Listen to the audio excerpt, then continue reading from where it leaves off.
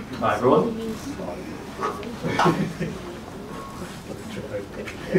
so just to quickly introduce ourselves, uh, my name's Ricci, I'm a radiology doctor based in One second. Oxford. My name is Gagadu. I'm one of the oncology doctors uh, at the hospital next door. And my name's Alan. I'm a data scientist working at Ashby. You should. And we've been working on figuring out ways of promoting work-life balance by redefining medical rota management, hence the name PROTA. And this is a problem which I think will be familiar to quite a few of you in the room, which I will hand over to Gagandeep to give a demo of. So this is just to illustrate the problem uh, we all doctors encounter, I'm sure. Oh, you're calling me. Okay. No one's picking up. This is I've called five times today. No one's still, no one's Hello, still- who is this? Hello, I'm Gagadu. I'm one of the doctors. I'm going to be starting in your department soon. Uh, Oh, okay.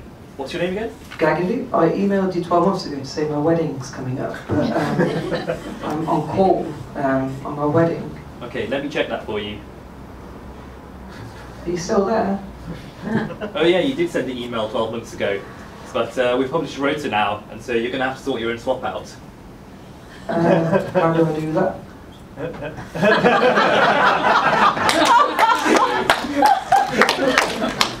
kind of prize joke- for acting. Absolutely not. we, we joke, but that, that is a, a common situation faced by lots of doctors, not just for their own weddings, but for any leave, for exam, for study leave, and just for annual leave. Planning your, your life was, when I first started working as a doctor, was probably the hardest thing. It wasn't telling patients and their loved ones that they were terminally ill. It wasn't trying to plan or like diagnose issues in, in hospitals. You, you trained for five, six years to do that. That bit you can you can kind of manage, but it's actually just managing your life. Um, and so the, the problem is, is how do we um, design better rotas for doctors? And currently the issue is, is that you have a rota template and doctors are just assigned to a random rota line. And we think there's a better way of doing that. I'm sure we've all got examples as doctors of things we've not been able to, to attend. So we have seen in the media recently there's a big push on well-being, and I think one of the biggest well-being aspects is actually being able to take your leave when you want it, not miss uh, your wedding. Obviously, you can't miss your own wedding, but friends' weddings, big events uh, that you need to attend. Um, and it's been in the news recently as well. This is 2019 actually, but um, about doctors not being able to get the leave they want. So it should be a fundamental aspect of uh, HR really.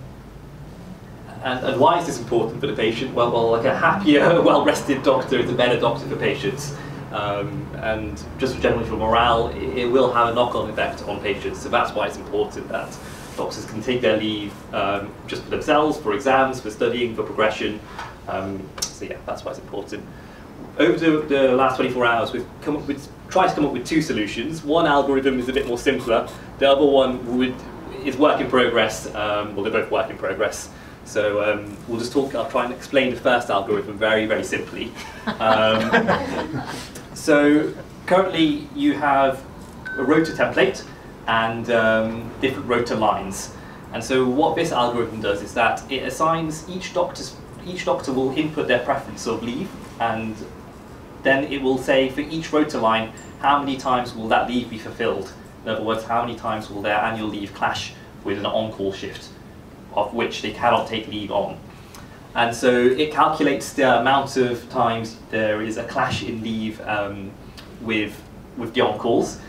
Um, and from there, the algorithm, what it does, it identifies the best rota line for each doctor.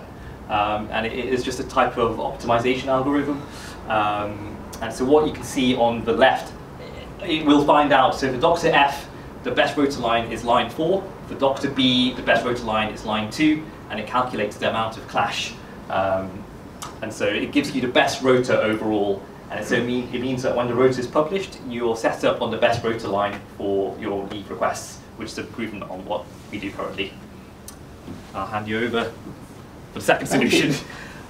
So uh, then we got a bit ambitious, and we thought, what if not just trying to find the best rota line for doctors, we try and come up with an algorithm that can come up with the rota lines, come up with an entirely generated rota that best fits all of the doctor's requests for leave, um, while filling all the shifts and complying with all the regulations that it has to, and ultimately trying to give the best work-life balance possible.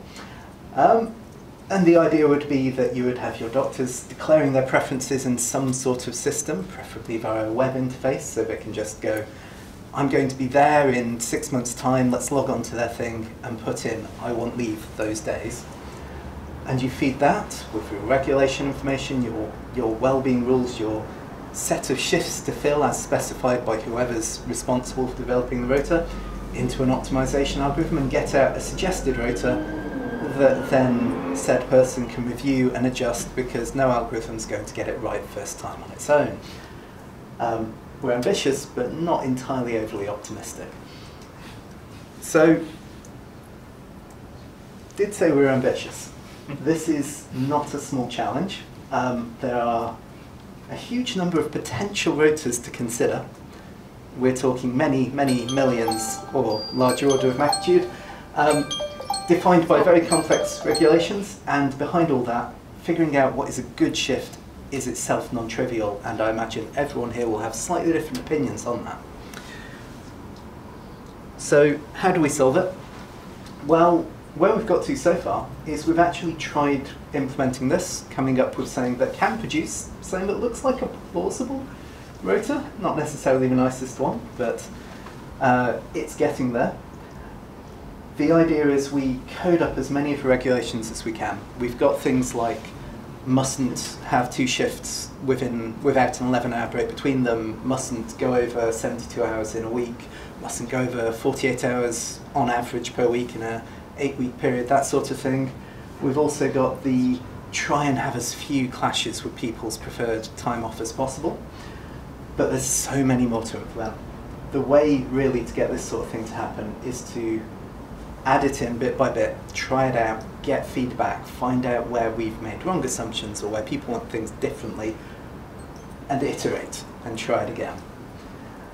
But the ultimate idea is that you would have something like Mike has thrown together, where you could specify, right, here's my calendar coming forward, I want these days off. We get that information of who wants when off, we feed it in, and ultimately we come up with a better rota.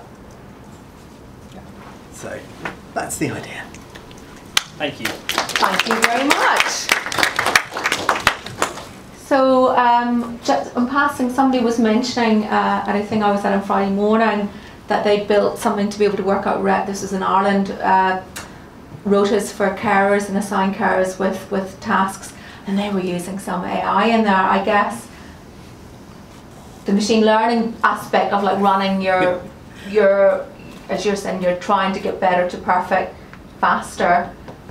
Was that a possibility for you or were you doing that? Or so, were you simplifying? So, so i think technically this is ai it is. And, and i was the one in the group who said don't call yeah. this ai because this is farcical calling this ai but but it's exactly it is it that. Fits the definition and I, of AI. That's what I was thinking. Yes, that you're not. I mean, you're not going to. It's not going to be a person that'll make a judgment about how good that rota is. The machine will make a judgment about it and then iterate. Yeah. So don't sell yourself short. Yes, we have purposefully not been calling this one AI. Because, because that's yeah. a fad term. I agree. I also voted against calling it AI, but there's a lot of hype that that word. But there is people will, other people will be calling AI. Yeah. So I'm all for fad, so that's. so judges. I believe um, the doctors has this hearing of foundation year one, foundation year two, would your solution be able to determine that or a bit of a skill mix if there are? So, it, so currently it's designed per rota, per, per grade of doctor. So different grades of doctors have different rotas for simplicity's sake. So a consultant will be on a different rota to uh, an SHO, to a first year doctor to a registrar. So it's designed per grade of doctor, per rota type. And it would differentiate between F1 and F2. That was your question. It was specifically about differentiating between F1 and F2. So we did look at this. Um, so in addition, when we've sort of perfected the first stage, which is a lot in itself, um, a lot of the times F1's uh, on the same rota as uh, Doctors okay. F1.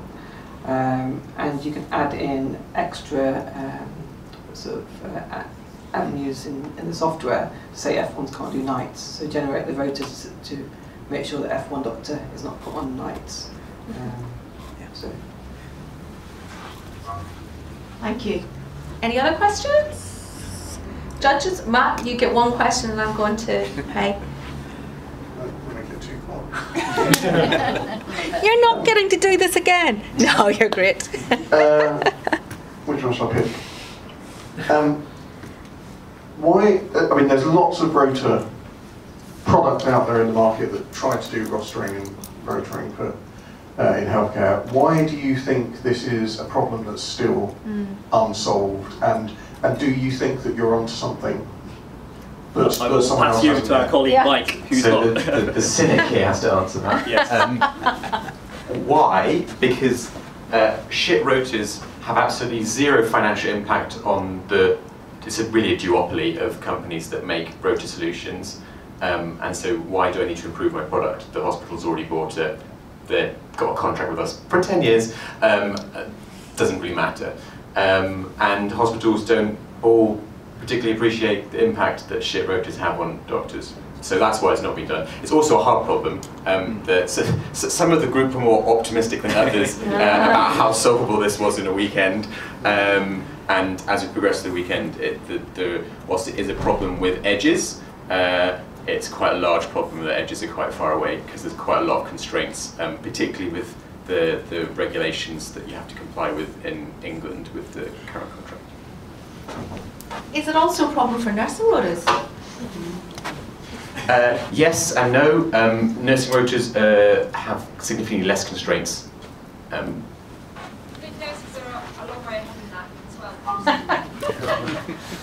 was just wondering if the nurses wouldn't have solved it already. Yeah, exactly. We have. Uh, so there's e-rostering has been around for a long time, and there's also a thing called self-rostering, and they're allowed to, like many patients, to do about 70% self-rostering, and there'll be algorithms behind to make sure you've got the right skill mix on the board.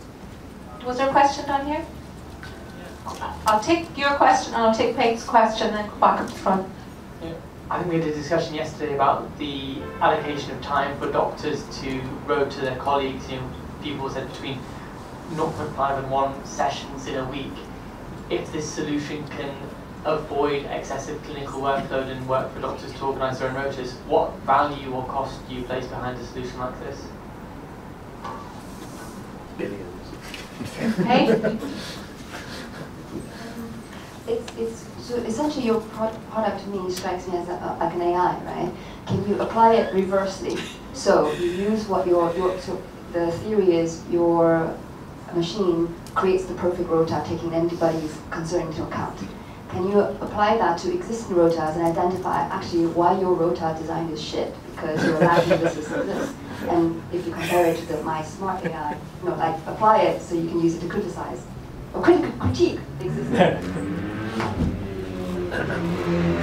So, you answer that one.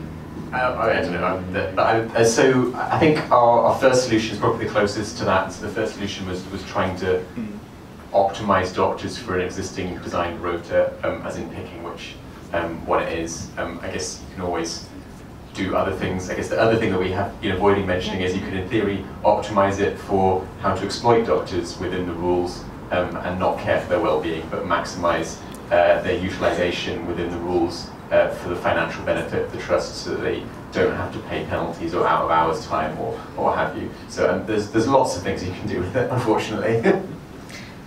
and the other point? Yeah, I can answer that. So, so you, to answer your first question, what, what sort of financial, like what costs will I put on this type of product?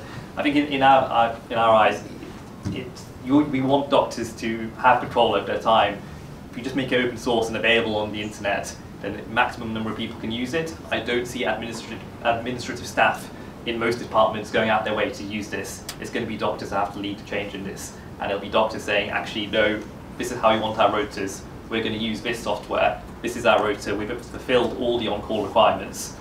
You sort out the HR side of things. That's how I see it happening. That's a bit of a policy bomb. I think, yeah, last question. Uh, no, I think the, the whole thing about notice is a nightmare, isn't it? But uh, I was just wondering, is there a possibility of maybe uh, giving different weights to different types of leave to make it easier to, to generate a rota? Yeah. So I have to go to my wedding, presumably. I don't need to go on my stag do somewhere, I don't know. so this is one of the things we were considering and we thought of a few different things, you know, some sort of numerical scale or a red, amber, green traffic lights, you know, red is if you don't give me this time off, I'm not going to be here one way or the other. Yeah. Um, but we decided let's keep it simple to start with, let's just do leave or not leave. Yeah. Thank you. Thank you very much.